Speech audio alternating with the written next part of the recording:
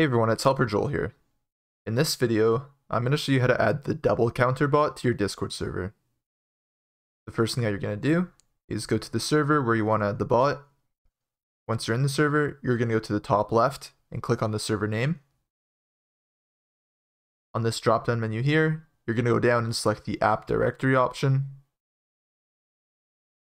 Once you're in the app directory, in the search bar here, you're going to search for double space counter, just like this, and then hit enter on your keyboard to search.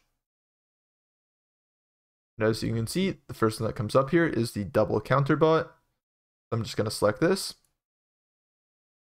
And then from here, I'm going to go to the right and click on the blue add app option. Once this pops up here, make sure you have the correct server selected in this box, then click continue. And then authorize this then confirm that you're a human. After that, you can go back to your server. And the double counter bot has now been added to our Discord server. I hope that this video helped you guys out. Please remember to like and subscribe.